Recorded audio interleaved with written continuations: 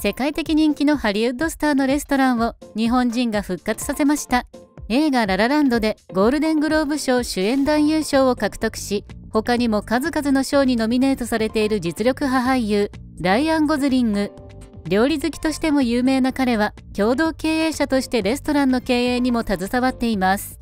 セレブ御用達の人気店で高評価を得ていたゴズリングのレストラン。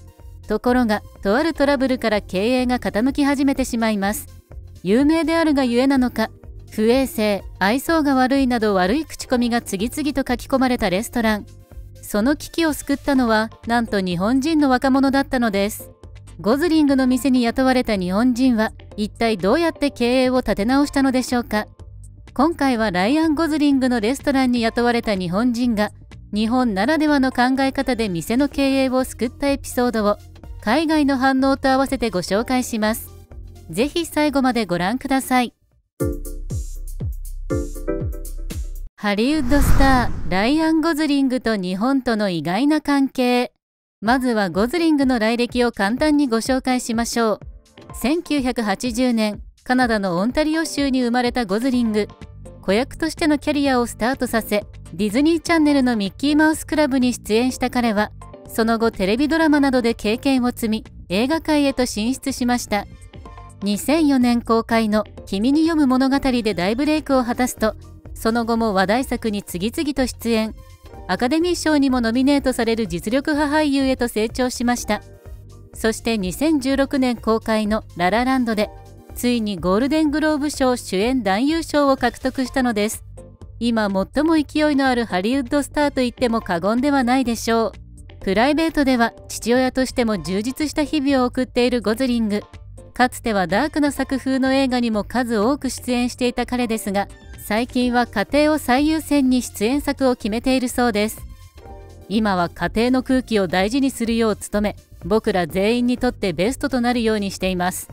家族を最優先にし出演作については長年のパートナーであるエヴァ・メンデスと一緒に決めています。幼い2人の娘たちでも楽しめそうな作品に出演し演出にも娘たちの意見を取り入れるゴズリング。家族を最優先にしながらも着実にキャリアを積んでいく姿勢も彼が支持される理由なのでしょう。そんなゴズリングですが実は日本への深い愛着も持っています。2017年ララランドの来日会見で彼は驚きの発言をしました。いつも滞在期間が短いんだ。本当は長くいたいけど叶わない。いつか日本で映画を撮りたいと思っているよ。この言葉に会場は驚きと喜びに包まれました。ゴズリングは続けて観客に向かって日本を舞台にした映画のアイデアを募集。侍や忍者といった提案に彼は目を輝かせながら答えました。グレートいいね。日本の文化や歴史を題材にした映画を作れたら最高だね。彼の思いは2018年ファーストマンの来日会見でも変わらず日本で映画を作ることが僕のゴールだよと語りました。また人類初の月面着陸をテーマにした映画にちなんで会見には女性宇宙飛行士の山崎直子さんと月周回旅行の予定を発表し話題になっていた ZOZO の創始者前澤友作さんも参加していました。前澤さんはぜひ日本でお会いしたい人としてゴズリングとデイミアン監督がリクエストし共演が実現したそう。映画を通じて宇宙に飛び立つことの困難を体験したゴズリングは山崎さんに深い敬意を示し前澤さんにも熱いエールを送りました。これから前澤さんがやろうとしていることがどれだけクレイジーで勇敢なのかを思い知らされました。僕は地上でお祈りして陰ながら応援していますよ。そう茶目っ気たっぷりにコメントしたゴズリングは会見後も山崎さん前澤さんと宇宙の話で盛り上がったのだとか。世界中の人々を魅了してやまないまさにスーパースターのライアン・ゴズリング。ところが彼にとある悲劇が起こったのです。それは彼が共同経営するレストランでの出来事でした。詳しく見ていきましょう。天国から地獄へゴズリングのレストランに起こった悲劇。ハリウッドスターとして輝かしい経歴を持つゴズリング。しかし彼の才能は演技だけにとどまりません。実は料理の腕前も一流だったのです。ゴズリングの妻で人気女優のエヴァ・メンデスはこう語っています。ライアンは素晴らしいシェフよ。パンやお菓子作りも得意なの。私なんて野菜を蒸したりジュースを絞ったりお米を炊く程度。でも彼は本当に料理をするのよ。その料理への情熱が高じてゴズリングはビバリーヒルズにあるモロッコ料理のレストラン。タジンを共同経営するまでになりました。きっかけはあるイベントでのケータリング。モロッコ出身のシェフアブデサマド・ベナムールの料理に惚れ込んだゴズリングは彼と共同でレストランをオープンしたのです。タジンは瞬く間にセレブ御用達の人気店となりました。野菜をふんだんに使ったヘルシーな料理と落ち着いた隠れ家的な雰囲気が評判を呼んだのです。彼の店に足しげく通うファンはメリル・ストリープキアヌ・リーブスローレンス・フィッシュバーンなどそうそうたる顔ぶれです。ゴズリングも店の内装を一部手掛けるなど積極的に関わっていました。人気メニューのラムハニーソースタジンは7種のモロッコスパイスとナツメヤシプルーンで仕上げたラム肉にクスクスを添えた一品。28ドル日本円にして4000円近くという価格にもかかわらず常に注文が絶えませんでした。しかし開店から1年が経ったある日思わぬ事態が起こります。突然の保健所の立ち入り検査があり検査官は衝撃的な検査結果をゴズリングに告げました。申し訳ありませんが衛生状態に問題があります。ランク A から B への引き下げは避けられません。なんとこれまで優秀点にのみ与えられていたランク A からランク B へ引き下げられてしまったのです。この事実は瞬く間にメディアで取り上げられ他人の評判は急降下。ニューヨークデイリーニュースのレビューでは5点満点中わずか1点という酷評。レストランのふりをしたまがいものとまで言われる始末でした。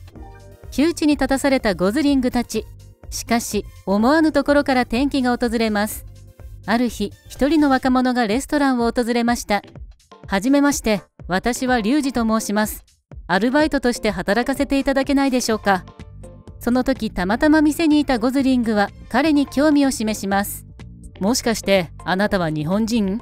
そう尋ねるゴズリングに彼はたどたどしい英語で答えました。はいそうです。日本から留学に来ました。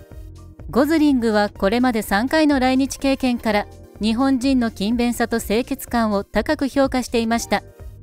君を雇おう。この店を立て直すのを手伝ってくれないか？こうして思いがけない出会いから他人再建への道が始まったのです。日本人を雇ったのは失敗だった。日本人はトラブルメーカー？ゴズリングが採用した日本人アルバイトリュウジ。彼の働きぶりは誰もが予想だにしなかったものでした。特にみんなを驚かせたのは清潔さへの徹底的なこだわりです。それは時として周囲を困惑させることもありました。後で使おうと思って作業台に出しておいたハサミをリュウジが勝手に引き出しにしまったんだ。どこにあるかわからなくなって探してしまったよ。リュウジったら何度も手を洗えってしつこいのよ。ついさっき洗ったところなのに。やがてスタッフたちは彼に不満を抱くようになり店はピリピリした緊張感に包まれていきました。さらに言葉の壁も大きな問題でした。店長のベナムールが注意してもリュウジには十分に伝わりません。それどころか新しい掃除道具が必要ですと身振り手振りでベナムールに訴えたのです。ベナムールはフロアの掃除にロボット掃除機とパワフルな大型掃除機さらに使い捨てのウェットシートを用いたフロアモップを用意していました。しかしリュウジはロボット掃除機は吸引力が足らない。大型掃除機は重くて掃除がしにくい。とたどたどしい英語で文句を言い出したのです。さらにフロアモップを1日に何度もかけるのでウェットシートの在庫がすぐになくなってしまいました。これにはベナムールもイライラした様子を見せます。この状況にゴズリングは深く後悔しました。日本人を雇ったのは失敗だったのかもしれない。ゴズリングはやきもきしましたが幸いリュウジは留学ビザの関係で長く働くことはありませんでした。しかし運命の皮肉というべきでしょうか。リュウジが退職した途端店の評判が急降下し始めたのです。不思議に思っていたベナムールですがある日客たちの驚くべき会話を耳にしました。最近ここの雰囲気が変わったね。そういえばあの笑顔が素敵な日本人スタッフはどうしたのかな。驚いたベナムールが客に尋ねてみると思わぬ答えが返ってきました。あの日本人の若者は本当に素晴らしかったよ。いつも笑顔で店内もピカピカだった。そう他のスタッフと比べても彼の仕事ぶりは群を抜いていたね。ゴズリングとベナムールは愕然としました。彼らが問題児だと思っていたリュウジの行動が実は顧客サービスの極致だったのです。なんてことだ。私たちは大切な宝物を手放してしまったんだ。リュウジの退職後店の状況は急速に悪化します。清潔さが失われ悪評が広まり始めました。さらに追い打ちをかけるようにパンデミックの影響で客足が遠のきます。このままでは店が潰れてしまう。そう危惧したベナムールは藁にもすがる思いでリュウジに再び連絡を取りました。レストランが劇的回復。店員たちが実践した日本流のおもてなしとは。リュウジもう一度うちで働いてくれないか？リュウジの連絡先に祈るように電話をかけたベナムール。すると電話の向こうのリュウジは数ヶ月前とは比べ物にならない流暢な英語でこう答えたのです。申し訳ありませんが今は別の店で働いています。リュウジの英語力の向上に驚きつつもベナムールは落胆しました。しかしリュウジは意外なことにこう続けたのです。でもお店のお手伝いはできますよ。アドバイスという形でどうでしょうか。この提案が他人の運命を大きく変えることになります。リュウジはまず清潔を徹底するよう求めました。使った器具は出しっぱなしにせず元あった場所に戻して作業台の上は物が少ない状態を保つこと。そうすることでこまめな拭き掃除をしやすくなりますし物を落として怪我をするリスクを避けることができます。掃除機も小型で軽量のコードレスに変えるべきです。店内はテーブルや椅子が至る所に置かれているのでロボット掃除機や大型の掃除機は不向きです。それから客には笑顔で接してください。何か困っている様子がないかを観察し何をすれば喜んでもらえるかを考えることも大切です。これが私の祖国日本で実践されているおもてなしの心です。リュウジのアドバイスをもとに店は大改革を始めます。まずは清潔さを徹底しリュウジの言うように掃除道具も買い替えました。そしてお客様への笑顔と気配りを忘れないことを店員に意識させました。するとこれらの取り組みは驚くほど早く効果を表したのです。他人の評判はみるみる間に回復していきました。Google マップでのレビューでも星4つ以上の高評価を維持し温かく気配りのあるスタッフがもてなしてくれてまるで自宅にいるかのよう。といった好意的なコメントが相次ぎました。リュウジのおかげだ。彼のおもてなしの心がこの店を救ったんだ。ゴズリングのレストランの劇的な復活はハリウッドの話題をさらいました。今や多くのセレブが日本のおもてなしを体験しようとこの店を訪れるのだとか。この経験を通じてゴズリングは日本のサービス精神の素晴らしさを再認識します。日本人の細やかな気遣いと優しさは本当に特別だ。僕も俳優としてそんな心遣いを持って演技したいな。失敗だったと思われた日本人スタッフの採用。しかしそれは他人にとってかけがえのない財産となったのです。文化の違いが時に摩擦を生むこともありますがそこには新たな可能性も潜んでいます。他人の復活劇はまさにそのことを我々に教えてくれるようですね。海外の反応。我々日本人からするとリュウジのようなおもてなしの価値観は当然のことのように思えます。しかし海外のネットユーザーから見ると特別なことのようです。数多く寄せられたコメントから一部をご紹介します。日本人は本当に客のことを考えてくれているんだね。日本のあちこちで味わうことができる居心地のいいサービスはスタッフたちの細やかな気配りと努力の賜物なんだ。日本のレストランに行ったことあるんだけど安いチェーン店でさえ笑顔で丁寧に対応してくれるのよ。まるでお姫様になった気分だったわ。僕も日本に行ったけどどこも掃除が行き届いていて清潔だったな。料理がどんなに美味しくてもクモの巣が張ってたり薄汚れた店だと入る気にならないからね。客から見たら最高のサービスかもしれないけど正直日本人とは働きたくないわ。こんなに上等のサービスをするならもっと高い賃金をもらわないと割に合わないわよ。日本人のサービス精神は素晴らしいけどこれをタダでやるのはどうかしら。働く人の待遇も大切にしないとね。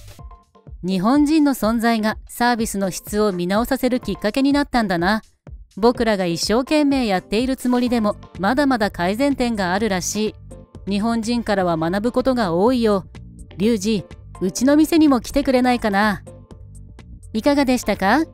生まれ変わった他人のように客のために細部までこだわり抜き手間と努力を惜しまない日本式のおもてなしは世界中の人々に驚きと感動を与えているようです。日本特有のおもてなしの概念は今や海外のホスピタリティ業界でも注目され様々な分野で取り入れられつつあるのだとか。日本の精神であるおもてなしの心が世界のサービス業に貢献できたとしたらこんなに嬉しいことはありませんね。それでは今回の動画はこれで終わります。ご視聴ありがとうございました。